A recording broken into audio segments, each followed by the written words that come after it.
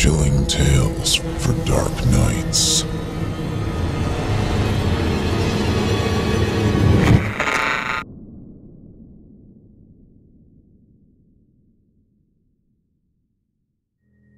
The Russian Sleep Experiment. Author unknown. Narrated by Jesse Cornett.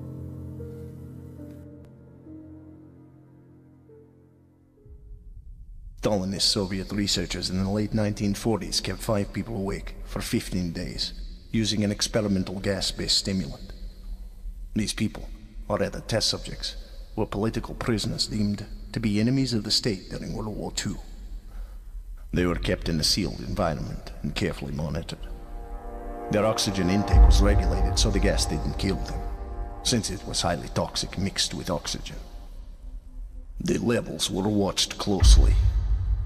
This was before closed-circuit cameras, so the monitoring was achieved through microphones and portal-sized windows in the walls of the chamber. These were made with 5-inch thick glass.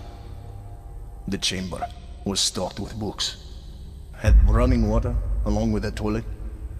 And there were also cots to sleep on, but no bedding.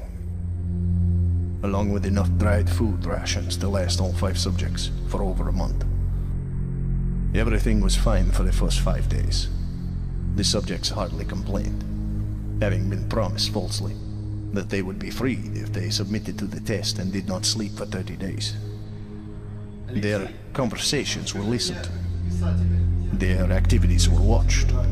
The researchers noted that, with each passing day, the subjects spoke increasingly about traumatic incidents in their past. They discussed things usually hidden deep within the psyche, not easily revealed to strangers.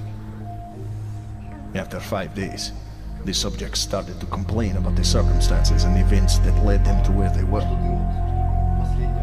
They increasingly demonstrated severe paranoia. Soon, they stopped talking to each other and began alternately whispering to the microphones and peeking through the one-way mirrored portals in the chamber. Oddly, they all seemed to think they could win the trust of their researchers by turning over their comrades. They began betraying the other subjects in captivity with them.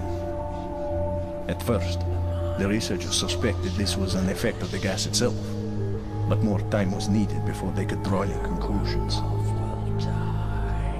After nine days, the first of the subjects started screaming, as though he were in mortal danger. He ran the length of the chamber, repeatedly yelling at the top of his lungs. After this prolonged behavior went on for what seemed like hours, he continued attempting to scream, but was only able to produce occasional squeaks. The researchers postulated that he had physically torn his vocal cords. The most startling thing about this behavior was the other subject's reaction to it, or rather, lack thereof. They continued whispering to the microphones until another started to scream. The two who remained silent calmly took the books in the chamber apart, smeared page after page with their own filth, and pasted them carefully over the glass portals. The screaming promptly stopped. So did the whispering into the microphones. The chamber went silent. Three more days passed. The researchers decided to start checking the microphones hourly to make sure they were working, since they thought it impossible that no sound could be coming from the chamber, with five people inside. When checking an oxygen monitoring device connected to the chamber, the researchers noted oxygen consumption rates which indicated the subjects were consuming oxygen at the rate of individuals engaged in strenuous exercise. This worried the researchers immensely. On the morning of the 14th day, in an attempt to get a reaction from the subjects, the researchers did something they had initially agreed not to. They used the intercom inside the chamber to speak directly to the subjects. There was real fear the test subjects may have died or gone into a vegetative state. That would have been frowned upon by the funder of this endeavor, who would arrive to see the results of the experiment. The lead researcher nervously announced, We are opening the chamber to test the microphones. Step away from the door and lie flat on the floor, or you will be shot. Compliance will earn one of you your immediate freedom.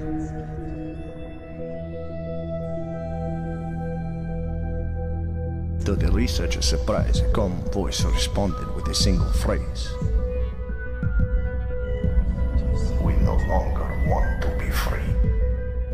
Debate broke out amongst the researchers and the military forces funding the research over how to handle this development. For the time being, the subject would remain exposed to the gas.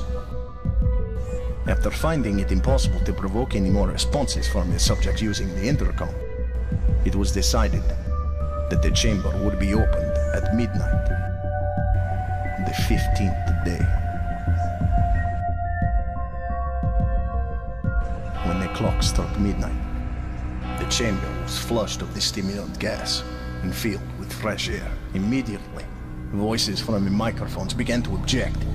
Three different voices began begging as if pleading for the lives of their loved ones, for the gas to be turned back on. Undeterred by these protests, the researchers ordered the chamber opened and soldiers were sent in to remove the subjects who proceeded to scream louder than ever. The soldiers, normally extremely disciplined and emotionally neutral, began to scream as well when they saw what was inside the chamber. Only four of the five subjects were still alive, and of those four, what remained made several of the soldiers recoil and vomit. The food rations past day five had not been touched. The body of the dead subject had been torn to pieces.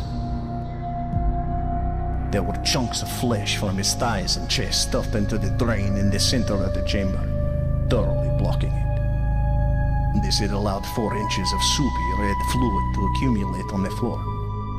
Precisely how much of the detritus on the floor was actually blood was never determined. All four surviving subjects also had large portions of muscle and skin torn away from their bodies as well.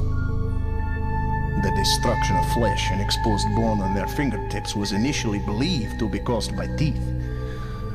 It was later determined to have been caused by using their fingers to pierce their own flesh. Closer examination of the position and angle of the wounds on the dead subject indicated they were mostly self-inflicted. The heart, lungs, and diaphragm of one of the subjects remained in place in his chest, but the skin and most of the soft tissue attached to the ribs had been ripped off. This exposed the lungs through the ribcage. All the blood vessels and internal organs from below the ribcage remained intact. However, they were no longer inside his body. His organs had been removed and laid on the floor. They had been fanned out in random piles around the eviscerated but still somehow living body of the subject. The digestive tract of the unfortunate was spread out across the length of the chamber. They could be seen to still be digesting food, pulsing and contracting on the floor. It quickly became apparent that what was being digested was the subject's own flesh. In spite of most of the soldiers being Spetsopretsi, Russian special operatives, having served in multiple combat operations under the service of the General Staff of the Russian Armed Forces during World War II, many refused orders to re-enter the chamber. They were exposed to more gore and violence in a few years than most witness in a lifetime. Yet this, they could not face. A few of the soldiers, after being threatened, gave in to their superiors' demands and began to remove the subjects one by one. All the while, the subjects continued to scream to be left in the chamber.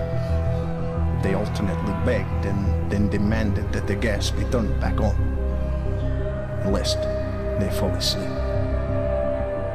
To everyone's surprise, the subjects put up a fierce fight in the process of being removed.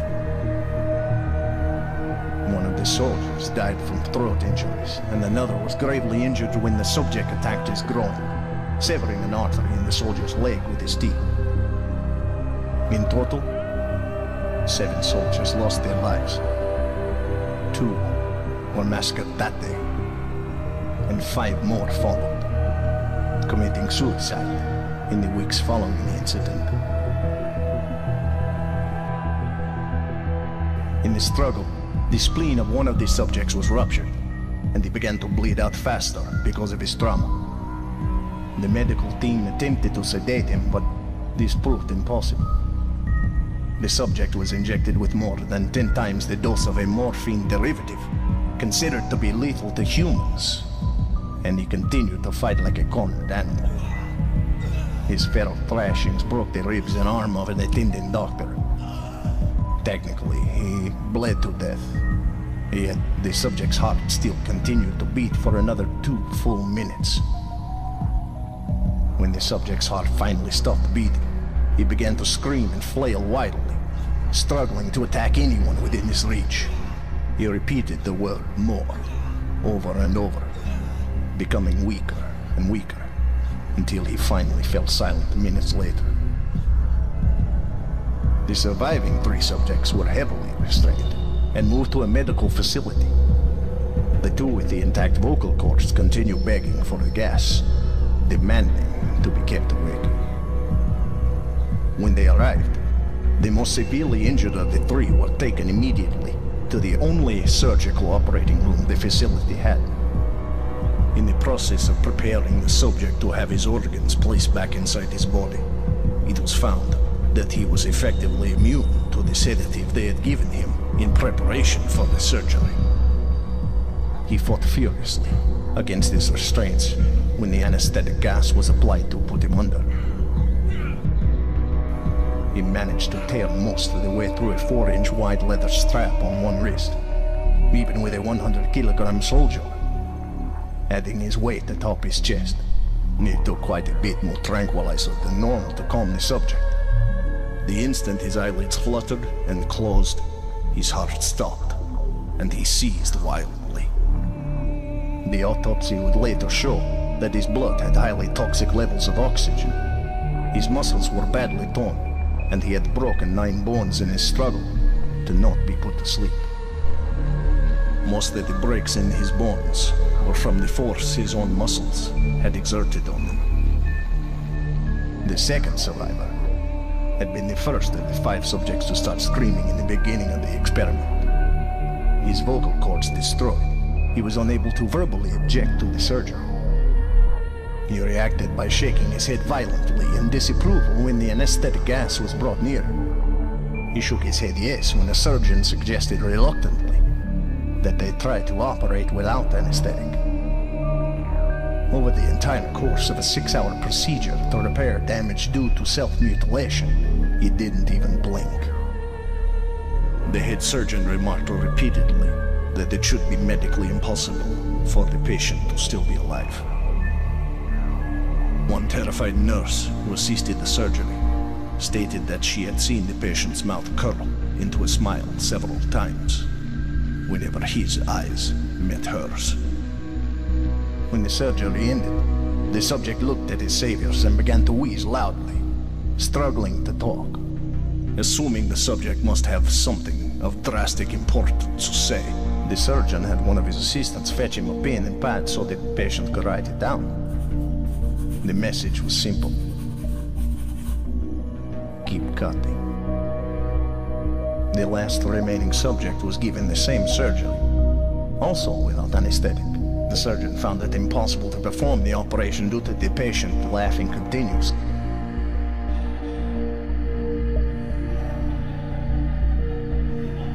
Once paralyzed, the subject could only follow the medical team with his eyes. However, the calm did not last as the epidural cleared the subject's system in an abnormally short period of time. He was soon trying to escape his bonds once again and motioning for the stimulant gas. The researchers and military officials who had arrived and were observing outside the surgical room tried communicating via intercom with the surviving subjects. The researchers asked why they had injured themselves, why they had eviscerated themselves. The military officials asked why they wanted to be given the gas again. Only one response was given. I must remain awake. Both subjects' restraints were reinforced, and they were placed into a holding chamber to await a determination as to what should be done with them. The researchers, facing the wrath of their military benefactors for having failed to achieve the stated goals of their project, considered euthanizing the surviving monstrosities. The commanding military officer instead saw potential and wanted to see what would happen if the subjects were put back on the gas. The researchers strongly objected, but were overruled. In preparation for being sealed in the chamber again, the subjects were connected to an EEG monitor and their restraints were padded for a long-term confinement. To everyone's surprise, both stopped struggling the moment it was let slip that they were going back on the gas. It was obvious at this point that they were extremely desperate to stay awake. The subject that could speak was humming loudly and continuously smiling, his reddish yellow teeth glistening with small bits of flesh. The mute subject was straining his legs against the leather bonds with all his might. First left, then right, then left again for something to focus on. This subject was holding his head off his pillow and blinking rapidly. Having been the first to be wired for EEG, the researchers were monitoring the rapidly blinking, mute subject's brainwaves with great interest. The waves were normal most of the time, but would flatline inexplicably, making it appear as if the subject was repeatedly suffering brain death just before returning to normal. As the researchers focused on the pinks and troughs of the paper scrolling out of the brainwave monitor, a single nurse saw the subject's eyes slip shut one final time. At this point, the subject's brainwaves immediately changed to that of deep sleep. This was followed by a surge, and then silence from the machine as his heartbeat ceased. As soon as his brainwaves subsided, his seizure began and he was suddenly spraying blood from every open wound. The remaining subject that could speak started screaming to be sealed in immediately. His brainwaves showed the same flat lines as the recently dead subject.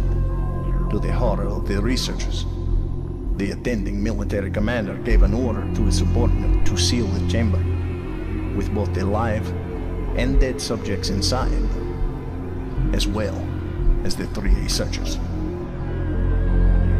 The lead researcher immediately drew a pistol and shot at the commander through the thick portal glass, but the bullet ricocheted and struck the mute subject, ending his suffering immediately. The armed researcher pointed his gun at the remaining subject, still restrained to the bed. And the remaining members of the research team began beating on the sealed door. I won't be locked in here with these things! Not with you! Screamed the now trembling armed researcher at the remaining subject strapped to the table. What are you? He demanded. I must know. The subject smiled. Have you forgotten, Sweesley? We are you. We are the madness that lurks within you all moment in your deepest animal mind. We are what you hide from in your beds every night. We are what you sedate into silence and paralysis. When you go to the nocturnal haven, we cannot